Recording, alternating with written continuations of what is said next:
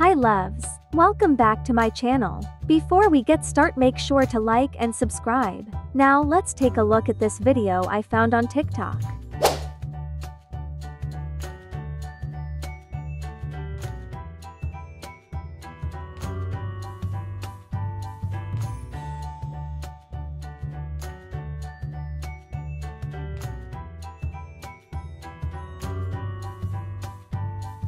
Okay, let's try it.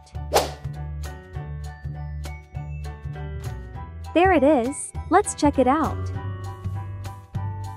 Here is the game.